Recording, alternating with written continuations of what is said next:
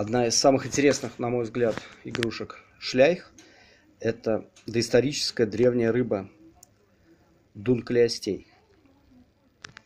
Артикул, кстати, 14575.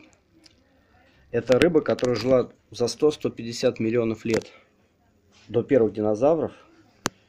Такая рыба-динозавр. Достигала в длину 8 или даже 10 метров. Защита у чешуи. Такие панцири и зубы в виде пластин.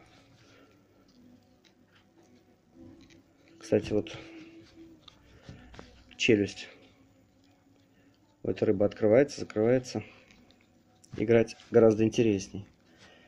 Говорят, что эта рыба ела первых акул. Доисторических акул.